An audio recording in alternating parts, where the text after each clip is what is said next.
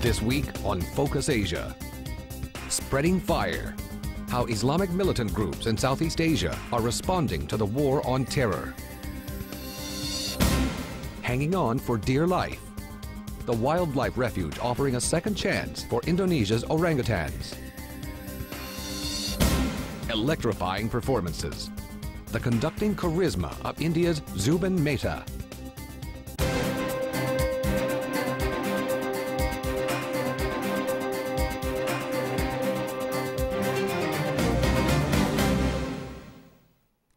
Hello from Hong Kong and welcome to Focus Asia. I'm Mark Niu. Since the September 11th terrorist attacks in America, the U.S., backed by an international coalition, has focused on its prime suspect, Osama bin Laden, and members of his organization, Al Qaeda.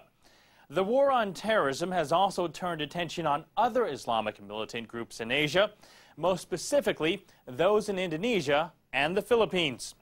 These groups once boasted of links to bin Laden, but now many, for their own survival, are trying to put as much distance between themselves and Al Qaeda as possible. Jennifer Lee examines the East Asian terrorist links and the denials.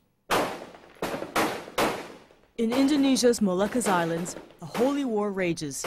It's a bloody battle between Muslims and Christians, provoked by one of the country's most notorious Muslim fundamentalist groups, the Laskar Jihad. In nearby southern Philippines, more violence. Three Islamic militant groups are battling separately for an independent Islamic state. Among the most violent, the Abu Sayyaf. Besides their struggle for control, these Muslim fundamentalist groups have something else in common. They've been linked to Osama bin Laden and his terrorist network, Al Qaeda.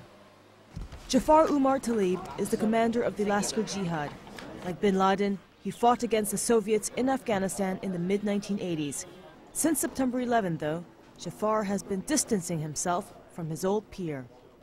We do not have any link with Al Qaeda, nor with other groups throughout the world. In terms of Al Qaeda, we completely oppose them both in their principles and their ideology.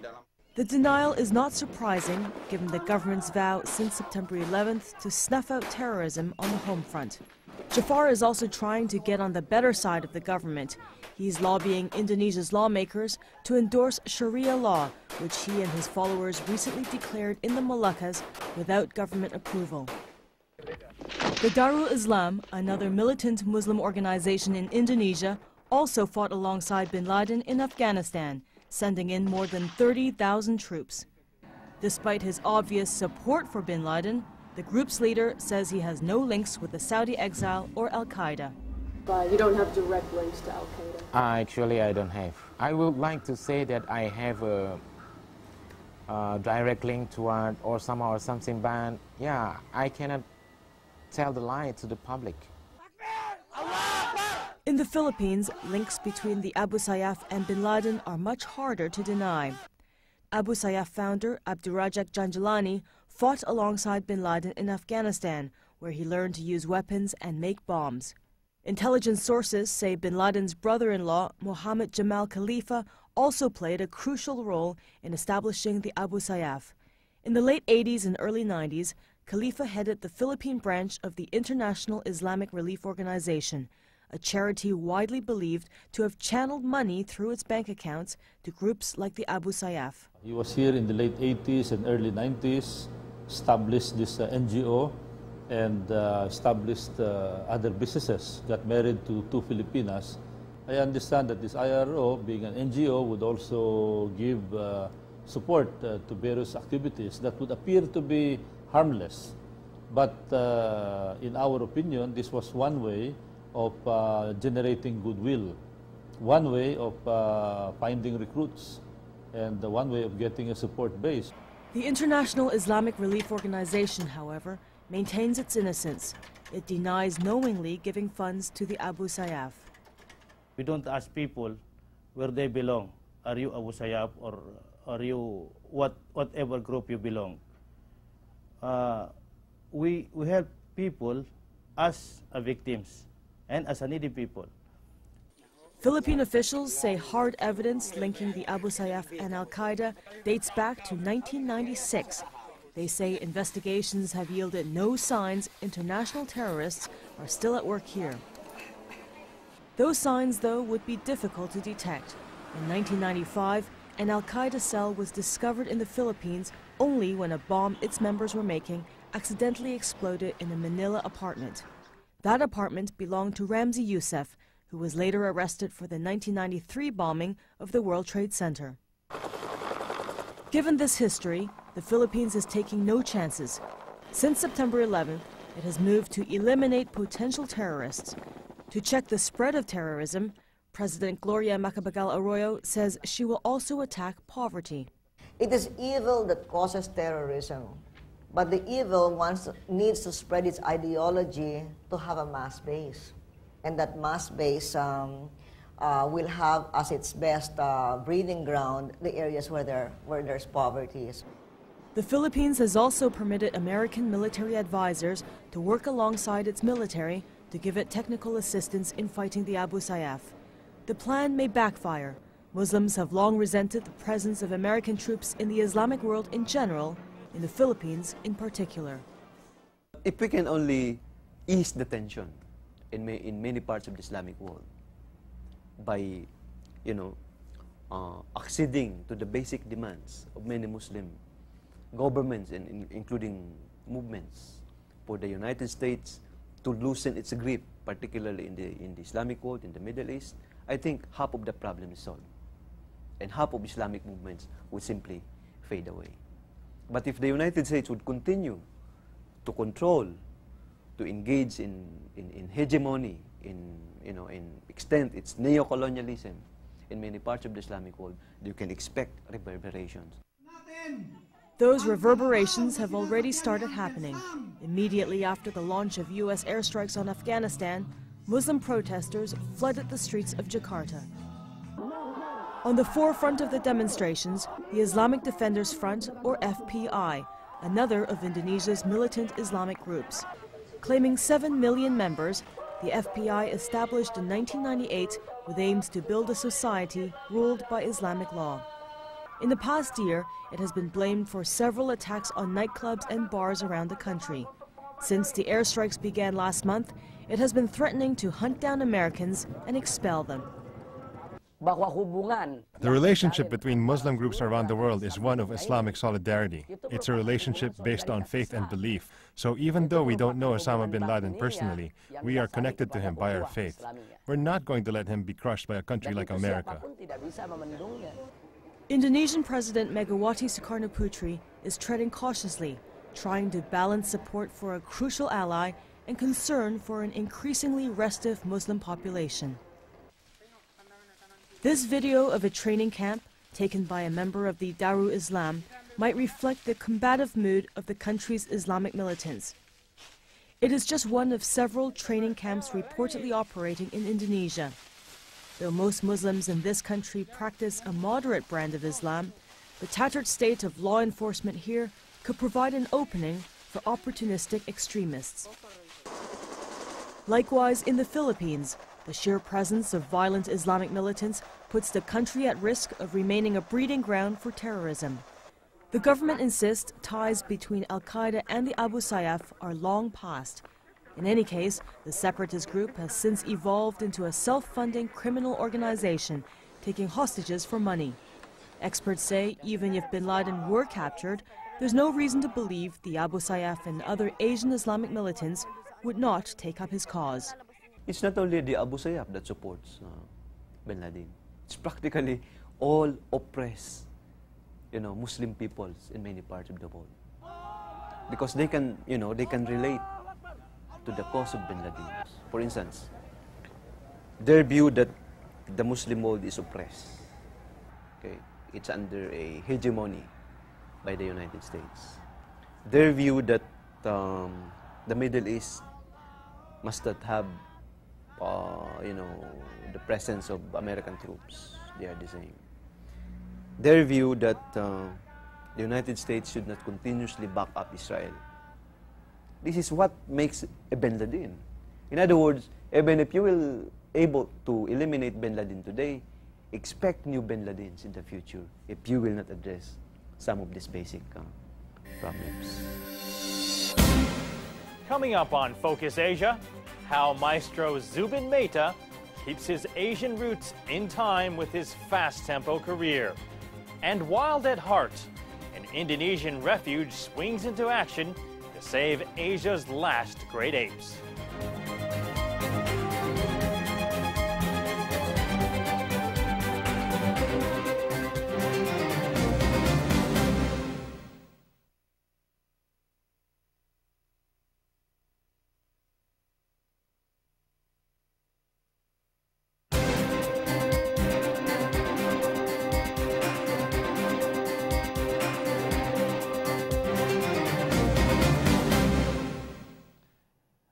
Orangutan is one of the most gentle of Southeast Asia's wild creatures. Yet for years, they have been victims of a brutal trade in which adults are killed so the young can be turned into pets. Facing extinction in less than a decade, the last hope for these animals may lie in a new refuge being set up in Indonesia. Adrian Brown now reports on a woman who left a high-flying job to help save Asia's last great apes. You don't have a very cute laugh, you know that? you do not. She's a mother to 82, doting on each and every one of them. You seem very attached to this little one. Well, I should rather say he's more attached to me than I am to him. No, I'm attached to all of them. Some of these baby primates were rescued from rich households where they'd been kept as novelty pets. Others were orphaned, often after witnessing the slaying of their mothers by poachers. His mother was shot um, with a, what do you call it, a shotgun with small pellets. Yeah, they all have been traumatized in some ways. Um, the mothers have either been shot, they've been um, killed with machetes. Um, if they go into the big palm oil plantations, and normally the trees are very low and they can be you know, killed with machetes. Their guardian today is Lone Droscher Nielsen, a former flight attendant from Denmark. She tired of the airline business a decade ago, devoting her life instead to creatures that she says are only slightly less demanding than business class passengers. Oh, you have to love them dearly. They also know who really loves them and who doesn't. You can tell by the way that they react towards you. I mean, it's obvious that you know, I love them more than anything else, and they know that. She's behind a groundbreaking project in Indonesian Borneo that could just hold the key to the survival of Asia's last great ape. It's part clinic and part wildlife sanctuary. The idea is to teach the orangutan the skills they would have learned from their mothers. Eventually they'll be returned to the wild, hopefully to reproduce there to replace the dwindling orangutan population, now down to 25,000 in Sumatra and Borneo. He's the smallest one. He was only two months old when we first got him. In fact, Martizan weighed just two kilos when he was brought to the centre, a few days after his mother was shot by poachers. Today, Martizan is a bundle of health and mischief.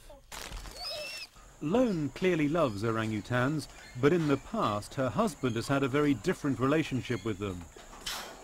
This indigenous Dayak tribesman was once partial to orangutan meat. Not anymore though, says this reformed hunter. I try to to tell my my family we cannot eat orangutan anymore because this is the uh, endangered species. It's easy to see why the orangutan remains endangered. Nearby, what was once pristine rainforest. Today, a desolate landscape. The legacy of the devastating forest fires that swept Borneo in 1997. This is where the orangutan used to live. But the forest has barely started to recover. The destruction forced them out of their natural habitat and eventually into contact with humans.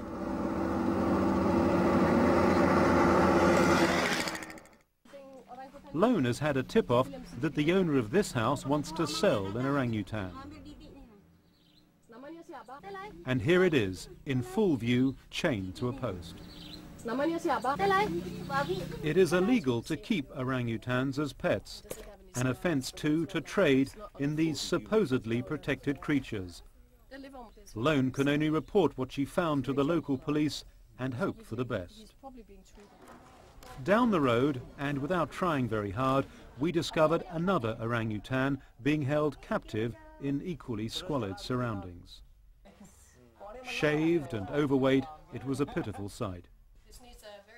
She belonged to a local bar owner. To the customers, it was just an animal that looked funny. Something to laugh at. What it really seemed to want, though, was affection. She's living on, on cakes and milk. Right. She doesn't get any vegetables or fruit. She's just on a very bad diet. As well as being the bar's only real attraction, she's also been trained to do the washing up. A freak show by night, domestic helper by day. The rings on its fingers, a sign the owners have forgotten it's just an animal. An illegal trade in these wild animals now flourishes in Indonesia. Local people are struggling to make ends meet, but some know they can sell a captured orangutan for around $5, a figure that's multiplied many times through a network of dealers in Jakarta. Back at the centre, we learn just how far some owners are prepared to go in domesticating their household pets. PP, this is from the Chinese uh, woman. They have a three orangutan in one house. But this is Three? Three. As pets? Yeah.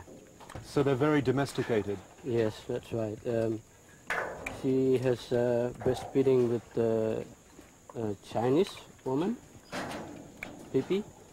Breastfed? Yeah. Since the small baby, they have the picture. You can uh, you can see that's poo. So the Chinese woman would breastfeed a people. PP. Yes.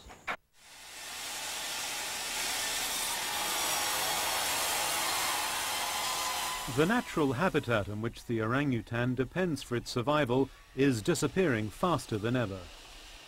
Environmentalists claim that up to 70% of the trees supplied to the processing sector are logged illegally. And so if the orangutan is taken as an indicator of the ecological health of this region, then the prospects for this endangered species are not encouraging. Could the orangutan be extinct 20, 30, 40 years from now? They will not be extinct 30 or 40 years from now. They will be extinct probably 10 years from now if the, the, um, the extensive logging is continuous the way it is right now. That soon? Yes. She fears the orangutan may never be able to return to the wild. And with good reason. Fly over central Kalimantan and you witness the processes that are destroying hundreds of thousands of hectares of tropical rainforest every year. The burning of the forest for land clearing projects once more coating the area in thick, choking haze. It is my worst nightmare is to think about the fact that I'm never going to be able to find a place that is going to be safe in which, in an area which I can release orangutans. This sanctuary perhaps the only place they are now truly safe in Indonesia. Still ahead on Focus Asia, South Asian magic behind the music making of Zubin Mehta.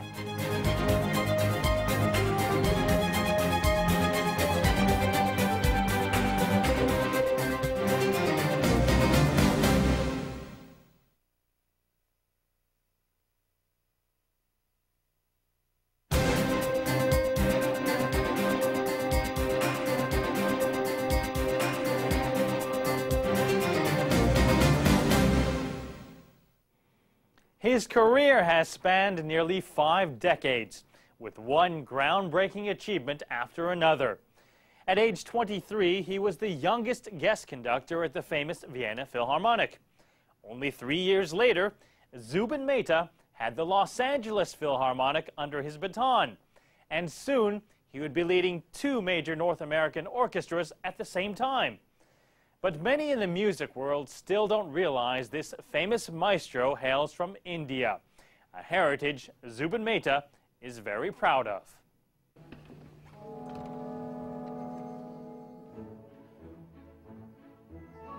His visual impact is a very important part of his art.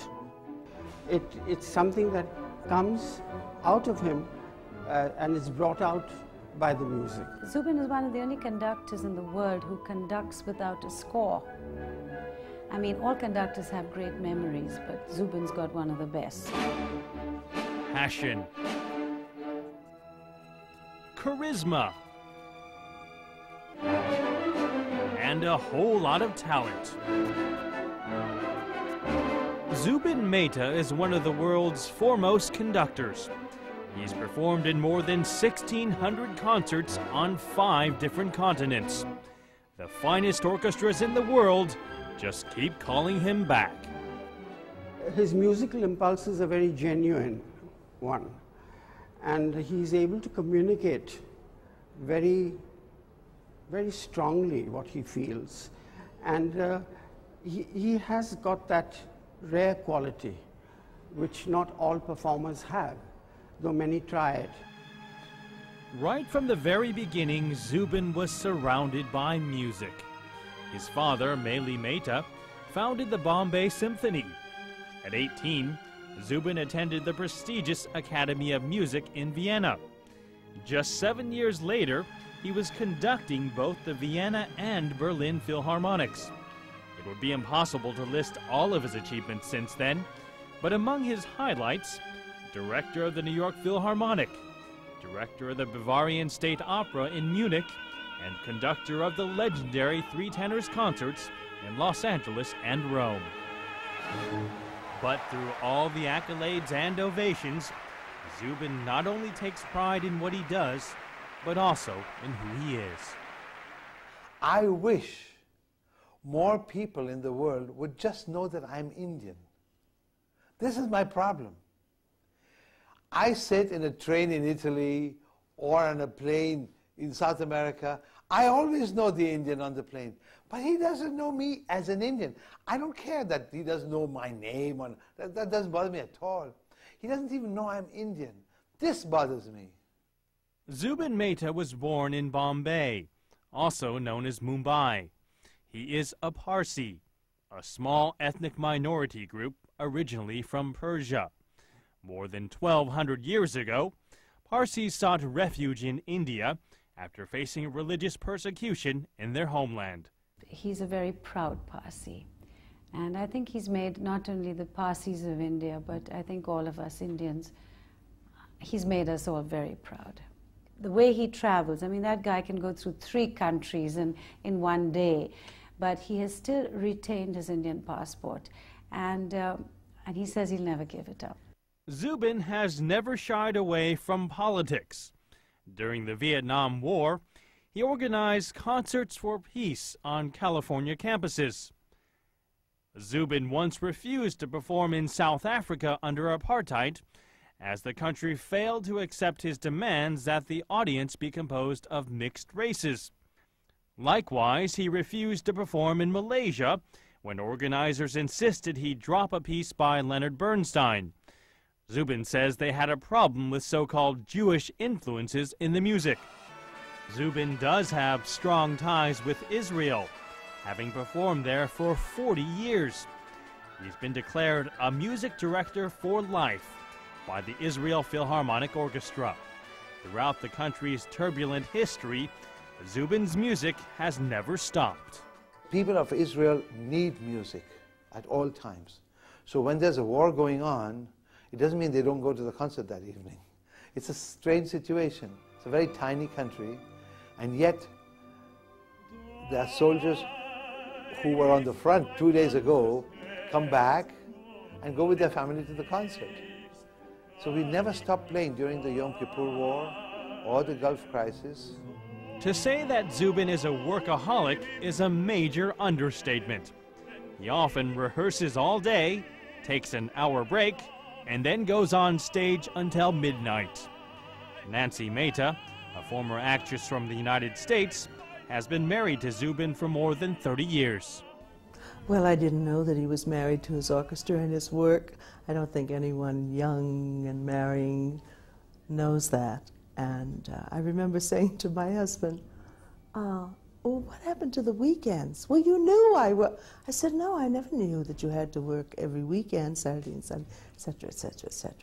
Tremendous amount of adjustment. Zubin admits that devotion to his work has caused family strife.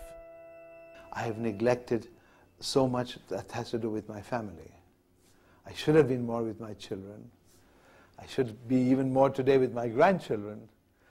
But uh, we are gypsies. At 65 years old, Zubin still has dreams.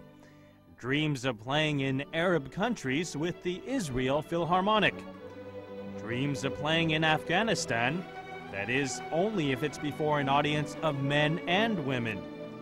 But despite the ambition, Zubin may finally be learning to relax. He just returned from a huge vacation with his wife, a whole three days. Never mind that it was a trip his wife had planned on four previous occasions, but canceled due to Zubin's schedule. My wife is almost all the time with me, and I want it that way. And uh, it has grown really through the years uh, that, that we are not only great friends, but uh, we are each other's advisors.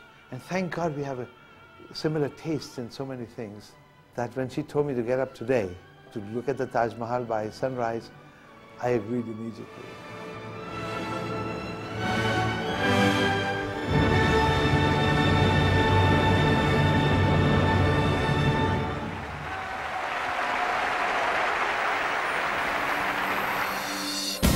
The music making of Zubin Mehta. And that's all we have time for on this edition of Focus Asia. I'm Mark Niu in Hong Kong. See you next week.